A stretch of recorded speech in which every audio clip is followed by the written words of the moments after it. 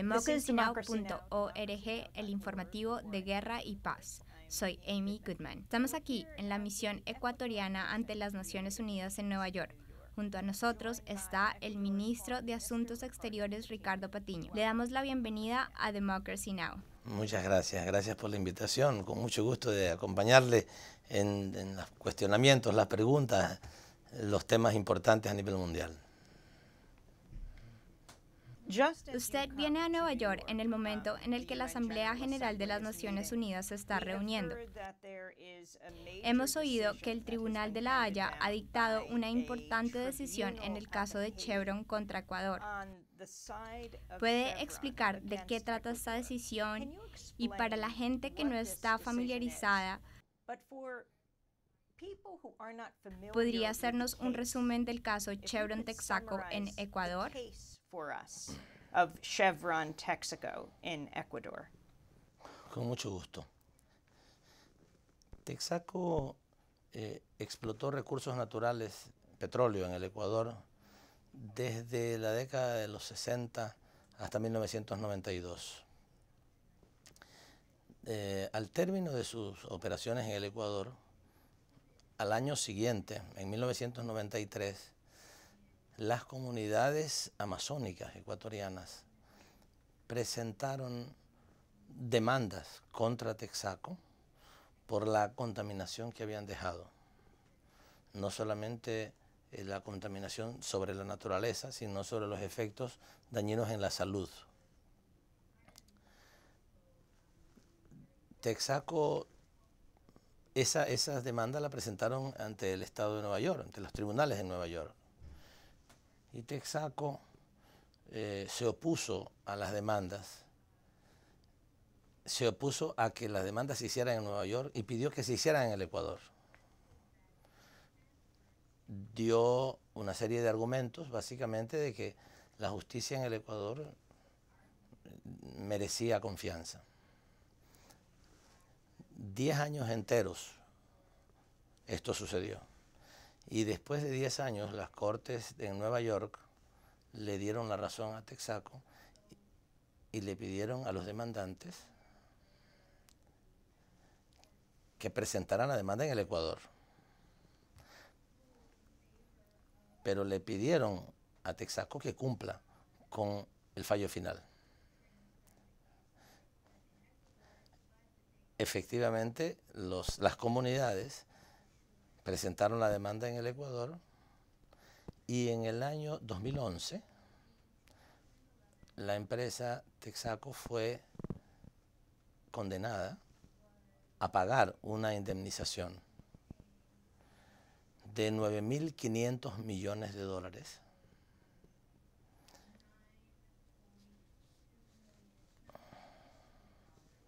Y eh, si no pedía disculpas en 15 días, esa pena se duplicaría.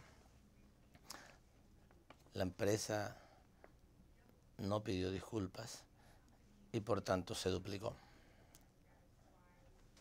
En este periodo, Chevron compró a Texaco y por tanto asumió también los pasivos que Texaco tenía. Con esto dejo clara una cosa, el Ecuador no ha demandado a Texaco. El gobierno del Ecuador no ha demandado a Texaco. Esta es una disputa entre particulares, las comunidades amazónicas ecuatorianas contra una compañía que ahora decimos Chevron Texaco. Pero eh, la compañía Texaco, después de haber recibido esta condena ha demandado al gobierno del Ecuador ante un eh, tribunal permanente de arbitraje de la Haya para que sea el Ecuador el, que pague la sentencia que a ellos le han mandado a pagar. Nosotros hemos sacado un pequeño folleto que dice Chevron Texaco quiere que el pueblo del Ecuador pague por la contaminación que ellos causaron. Se lo quiero entregar para que usted lo tenga. Bueno, eh, ¿Cuál es el problema fundamental en este momento? El gobierno del Ecuador no acepta que, que Chevron Texaco haya eh, iniciado esta demanda contra el gobierno del Ecuador por dos importantes razones. Una, porque eh, Chevron Texaco se basa para hacer la demanda en un tratado bilateral de inversiones que el Ecuador firmó con los Estados Unidos y que entró en vigencia recién en, 1900, en, el, en, en 1997. Cinco años después de que Texaco se fuera del país. No puede aplicarse un tratado bilateral de inversiones con efecto retroactivo. Texaco se fue en, el, en 1992. Ya no tiene inversiones en nuestro país. y el tratado bilateral recién se eh, eh, rige desde el 97 para adelante, no para empresas que estuvieron en 1950, en 1920, en 1900 en el Ecuador, sino para aquellas que están desde 1997 para adelante. Por tanto, no podría aplicarse este tratado. Y en segundo lugar, porque ese tratado no permite que se aplique un tribunal de arbitraje para conflicto entre privados. Y este es un conflicto jurídico entre privados. Por esa razón estamos negándole nosotros la competencia a ese tribunal. Y ese tribunal, sin embargo, ha aceptado la competencia. Y en los últimos días, para ya llegar a la pregunta que usted me hacía después de hacer este breve resumen, ese tribunal ha tomado algunas decisiones, una de ellas en el sentido de que eh, eh, el Estado ecuatoriano no podría demandar al, a Texaco. Eh, por supuesto, nosotros no lo estamos demandando. y que podría ser demandado Texaco Chevron básicamente por temas individuales, por efectos individuales en las personas y no por derechos colectivos. Ese es un tema que tendrán que ellos tratarlo, pero insistimos en que el gobierno del Ecuador le niega la competencia a ese tribunal para siquiera analizar la demanda que Chevron tiene sobre el Ecuador, porque no puede aplicarse con efecto retroactivo un tratado bilateral de inversiones. Ahora, para acabar de rematar este tema con Chevron Texaco, ellos han iniciado una campaña multimillonaria para tratar de desprestigiar a nuestro gobierno argumentando que, hubo fallas en el proceso judicial. Si hubo fallas en el proceso judicial es un tema que ellos tienen que debatirlo en ese plano, en el sistema judicial ecuatoriano. Pero uno de los argumentos que ellos tienen es que ellos dejaron absolutamente limpio, la, limpia la naturaleza en el Ecuador, que ellos prácticamente no ensuciaron nada y que cualquier cosa que ahora tuviera nuestro país son eh, daños que se produjeron por parte de las petroleras, otras petroleras privadas o por parte de la petrolera estatal ecuatoriana.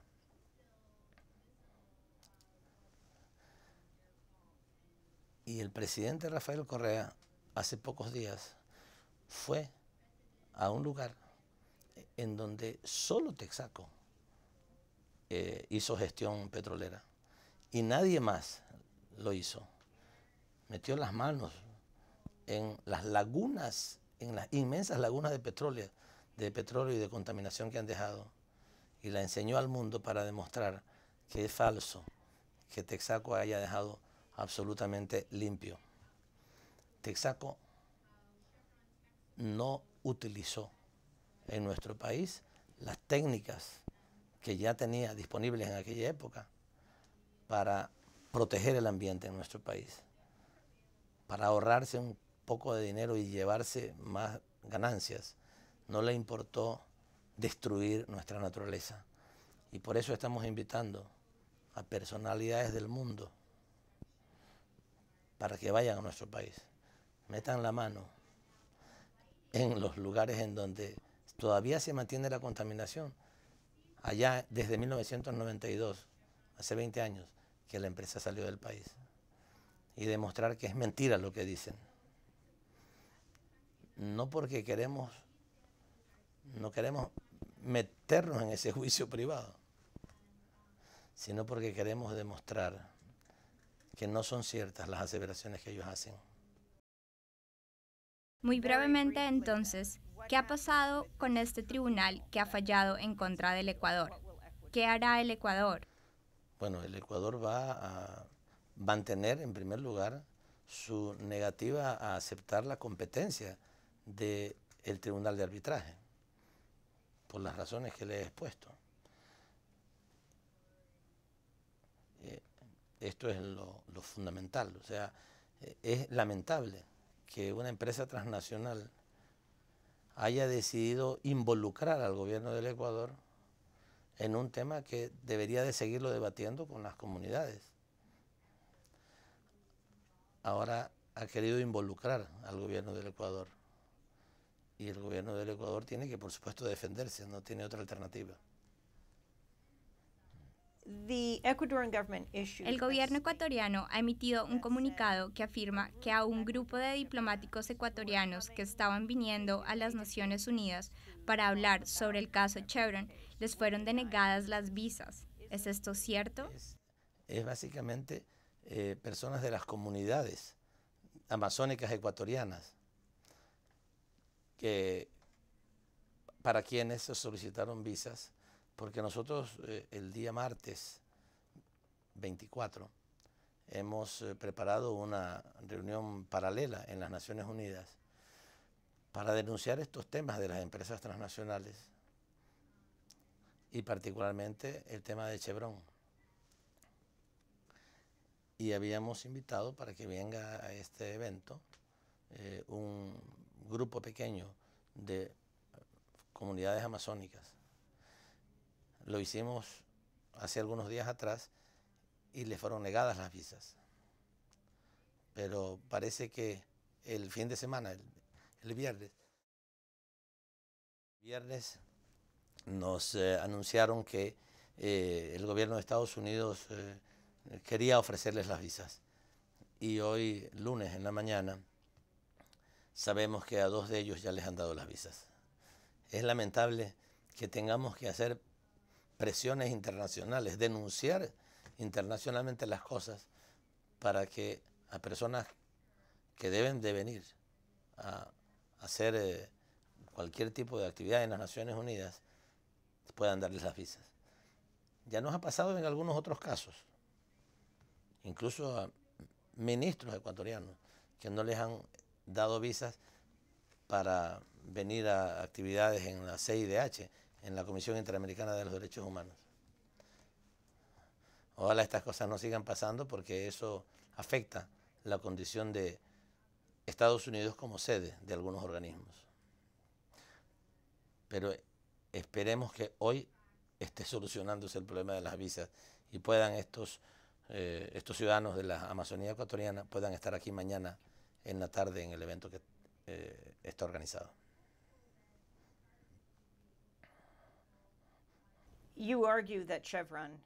Usted argumenta que Chevron Texaco no ha limpiado la Amazonía, que contaminó, porque el gobierno de Ecuador no ha hecho más para limpiar esa contaminación durante las décadas que han pasado desde que Chevron Texaco abandonó el país. ¿No era Texaco una subcontratista de la petrolera estatal ecuatoriana? Lamentablemente, los gobiernos anteriores al nuestro no habían hecho acciones tendientes a limpiar lo que Texaco había dejado. Es más, en algún momento funcionarios de la, empresa petrolera ecuatoriana eh, habían hecho un documento diciendo que Texaco había limpiado todo. Pero es evidente que eso no es así. Por eso el Ecuador está iniciando, ha iniciado un trabajo de limpieza. Pero ahora incluso debemos de, de, demorar eso, de esperar, porque de lo contrario no puede ser demostrado que efectivamente ellos dejaron esa eh, contaminación en nuestro país. Las pruebas podrían desaparecer si nosotros la limpiamos actualmente.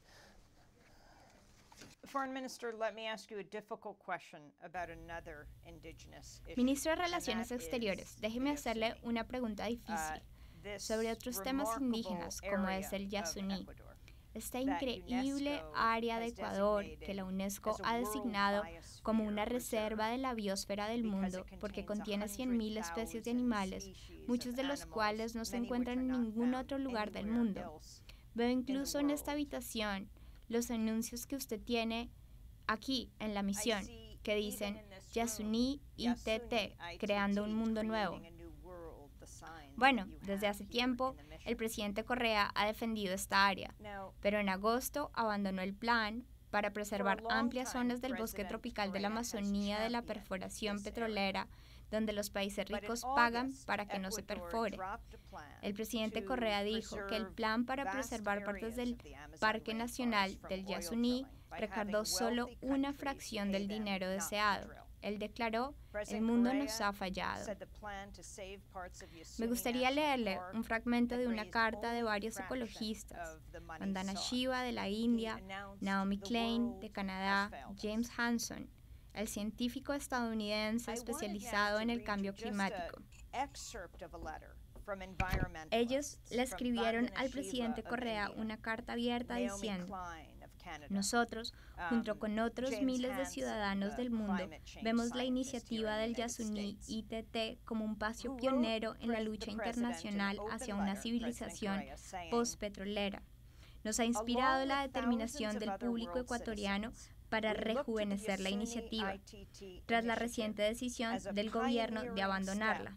En consecuencia, estamos extremadamente preocupados por los informes que denuncian que su gobierno está intentando reprimir las voces de la mayoría de los ecuatorianos que continúan apoyando la iniciativa sobre el Yasuní.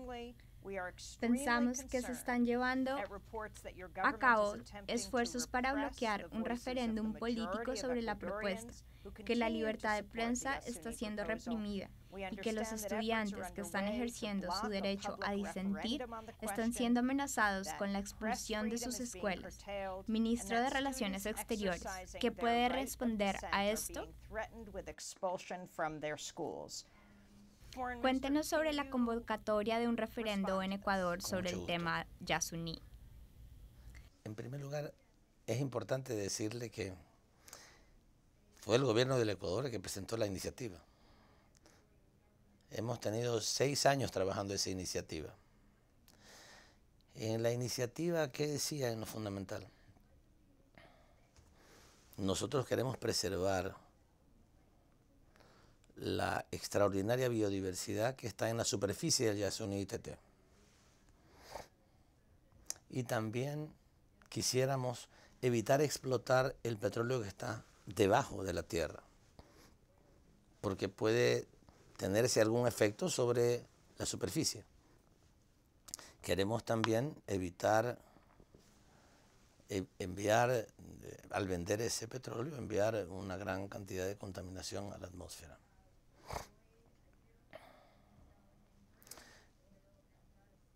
Pero la iniciativa decía lo siguiente, el gobierno del Ecuador está dispuesto a sacrificar el 50% de los recursos que esos, ese petróleo podría ofrecerle al Ecuador. Recursos que necesitamos. El Ecuador no es un país rico. El Ecuador necesita recursos para su desarrollo. Hay mucha pobreza todavía. Han cambiado mucho las condiciones en estos seis años. Hemos mejorado mucho. Pero tenemos que trabajar muy rápidamente para estar en otras condiciones. Y necesitamos esos recursos. En todas partes del mundo los están explotando, los recursos naturales, sin mucho reparo, sin mucha preocupación. Y nosotros hicimos una presentación mundial y dijimos, sacrificamos el 50% de esos recursos, pero el mundo tiene que también comprometerse con nosotros. Y dijimos, si a nivel internacional los recursos del mundo contribuyen con el 50%, con el otro 50%, nosotros estamos dispuestos a preservar totalmente la superficie eh, de, ese, de, esa eh, región del Yasuní Tete y a no explotar el petróleo indefinidamente. Pero la respuesta del mundo fue absolutamente negativa. Hemos logrado unos poquitos millones de dólares. Y nosotros lo dijimos, si no recibimos la corresponsabilidad mundial, tendremos que explotar ese petróleo porque necesitamos esos recursos que, podemos obtener de su venta. Después de haber hecho una y otra y otra y otra vez eh, eh, la, espera para obtener los resultados y no habiéndolo tenido, el gobierno del Ecuador decidió explotar el petróleo, no afectar la superficie del Yasuní ITT. Esto es muy importante decirlo. Vamos a, algún efecto tendrá, sí, pero va a ser un efecto mínimo. El efecto es, respetamos los criterios que han sido mencionados en esa carta. Si las personalidades que escriben esa carta pudieran remover la conciencia del mundo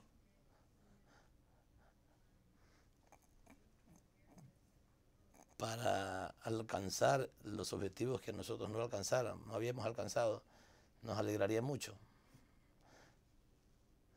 Pero lamentamos decirlo que nosotros no hemos podido conseguir esos resultados. Posiblemente otros temas interesen más al mundo.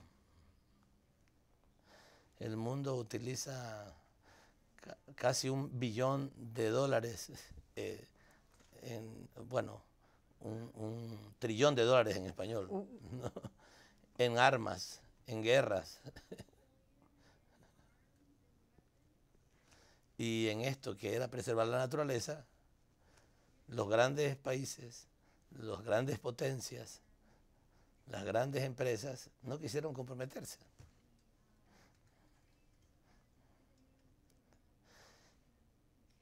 Incluso en en países eh, europeos muy, muy poderosos y muy ricos. Fueron los gobiernos regionales los que hicieron contribuciones muy generosas, pero los gobiernos no lo quisieron hacer. Tienen otras prioridades en el mundo. Pero nosotros tenemos que combatir también nuestra, la miseria que todavía tenemos en el Ecuador. Ahí tenemos mucha gente que todavía tiene, se muere por enfermedades gastrointestinales, porque no tiene agua potable. Y necesitamos esos recursos.